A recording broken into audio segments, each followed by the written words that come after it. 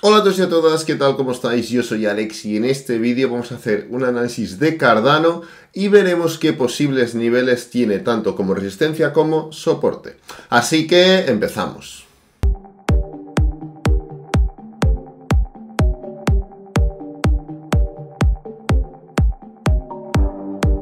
Bueno, antes de nada, aquí abajo en el primer comentario fijado, muy rápido, tenéis diferentes enlaces importantes. El primero, el vídeo de esta mañana. Eh, por si no lo habéis visto, he hecho un análisis general de distintas criptomonedas y lo tenéis aquí abajo en el primer comentario fijado. Segundo, eh, el vídeo del Launchpad de Binance. Me habéis estado preguntando mucho y, la verdad te soluciono todas las dudas en ese vídeo. Eh, yo os recomiendo que vayáis a verlo, porque creo que algunos habéis hecho dudas sin mirar el vídeo, ¿vale? Así que nada, en ese vídeo lo que hago es orientaros sobre cómo va a ser el esquema, qué tenéis que hacer, qué no tenéis que hacer, cuántos BNBs os dan, cuántos BNBs no os dan. Dejo claro ese tema que veo que hay un poquito de dudas. Eh, y luego, pues, mi canal de Twitch, mañana va a haber directo mi canal secundario, subo vídeos de Cardano, eh, subo vídeos de todo un poco, extractos también del canal de Twitch, mi perfil de Instagram, muy importante tanto para ver trades como pues para contactar de manera más sencilla conmigo. Y nada, con eso ya termino porque tampoco quiero enrollarme. Entonces, eh, la verdad son las 12 eh, aquí en España, 12 del mediodía. Tengo que grabarlo ahora porque em, porque luego no te voy a tener tiempo y os quiero enseñar lo siguiente.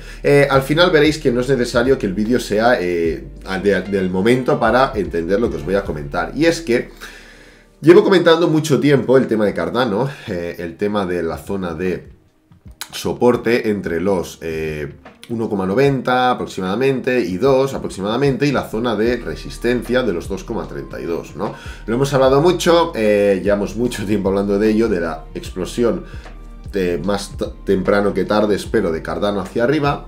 Y eh, ahora, ya, ya hace unos días que estamos diciendo, oye, ya está entre la espada y la pared. ¿Por qué? Pues porque está entre el soporte y entre la resistencia dinámica, que es la media móvil de 20 dinámica, ¿ok? Este indicador blanco que tenemos aquí, el cual ha rechazado una vez, dos veces, tres veces, cuatro veces, cinco veces, seis veces, siete veces, ocho veces, nueve veces.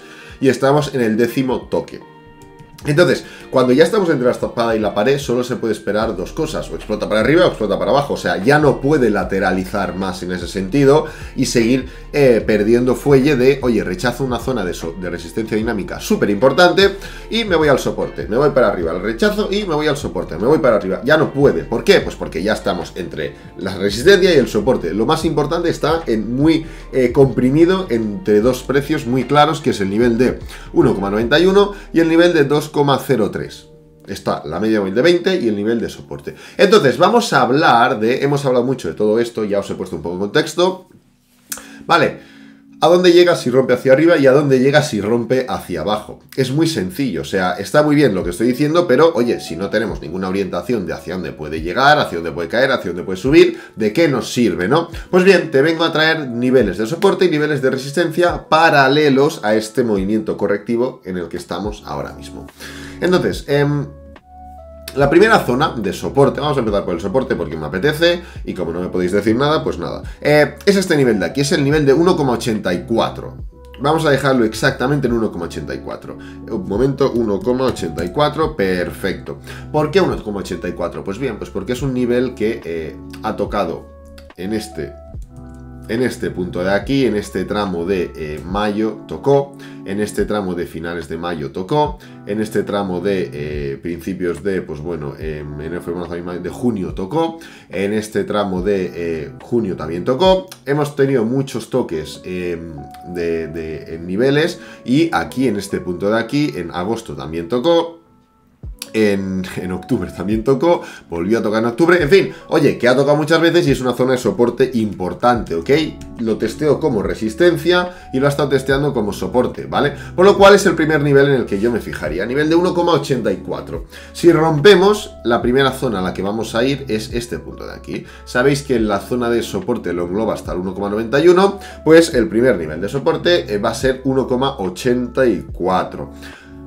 Es una zona interesante, pero ¿cuál otra puede haber? Pues si cogemos y tiramos la media móvil de 20, eh, de 200 diaria, como veis, marca prácticamente el mismo nivel. La media móvil está un poquito más abajo y pues representa que... Eh, pues se va a ir moviendo con el precio, ¿no? Si el precio va moviéndose, la media móvil va, moviéndose también, por lo cual eh, tenemos ahí en un mismo nivel dos zonas súper, súper, súper importantes. La media móvil de 20 diaria, eh, disculpad, es el indicador que comentamos ya a principios de, septiembre o así, más o menos, dijimos, lo peor que nos podría pasar es que vayamos a por la media móvil de 200 diaria. Esto lo comentamos, lo podéis mirar en los vídeos. ¿Por qué? Pues porque es una zona que marca el pullback más exagerado que puede formarse. Aquí lo veis, aquí lo mismo, se levanta, este pedazo de pullback la toca, se levanta y oye, puede ser que volvamos a tocarla, puede ser que volvamos a testearla y además, si sabemos que no solo se junta la media móvil de 200 diarias, sino que también se junta esta línea horizontal de soporte y resistencia, oye, pues doble eh, fortaleza a ese punto, a esa zona.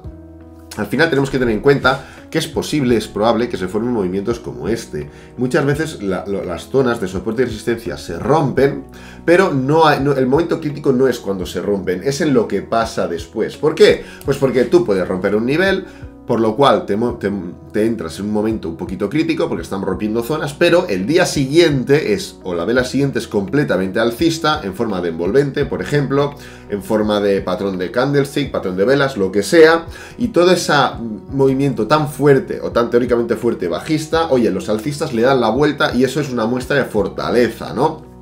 Es muy importante que tengamos eso en cuenta.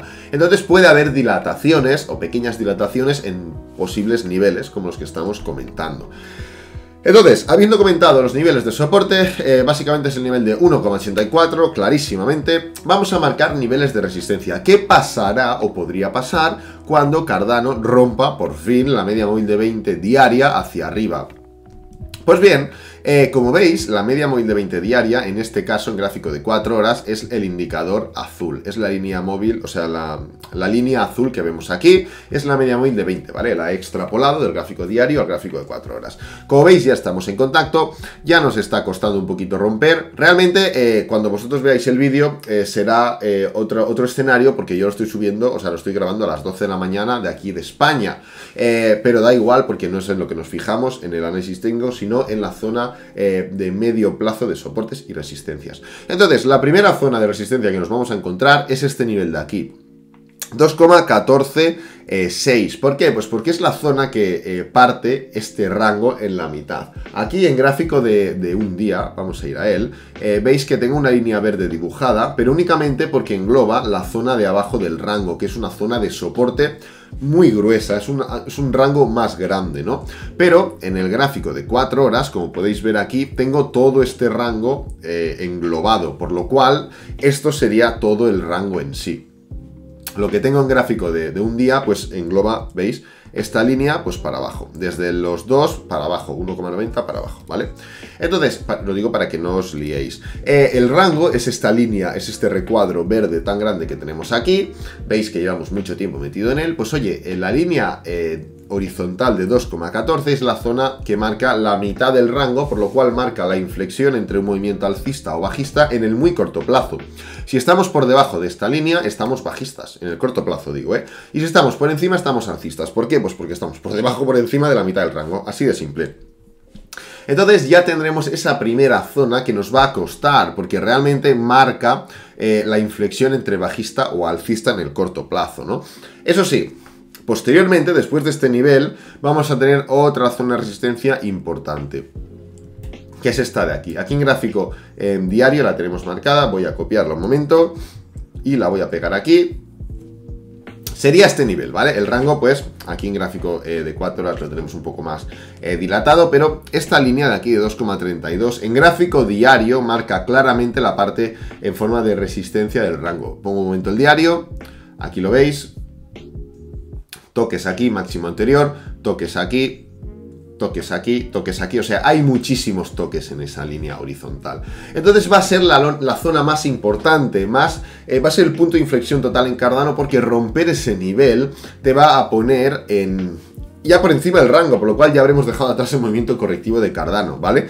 Em, yo personalmente creo que este nivel lo vamos a romper sin ningún problema. O sea, yo creo que nos va a costar más el 2,14 por estar dentro del rango y demás que no este nivel. Yo creo que si Cardano vuelve a los 2,32 ya es para irse a 3. es así como lo creo, es como lo veo, y se irá a 3 de manera agresiva, de manera fuerte, de manera eh, con decisión, vaya. Eh, eso sí, tiene que pasar por en medio de este nivel, que es el que yo considero, por experiencia, viendo cómo se está comportando Cardano y demás, que va a ser el que más nos va a costar. Así que nada, eh, lo dejo por aquí. Eh, hemos marcado claramente zonas de soporte, zonas de resistencia en caso de romper el rango hacia abajo o hacia arriba. Eh, quería ubicar un poquito todo esto porque estamos detallando muy bien y durante mucho tiempo el tema del rango, diferentes temas técnicos importantes, pero al final, ¿qué pasa cuando se rompa para arriba o para abajo? Así que nada, ya lo tienes. Espero que te haya gustado. Si es así, dale me gusta, suscríbete, compártelo con amigos, con la familia y nos vemos en el próximo vídeo. Adiós.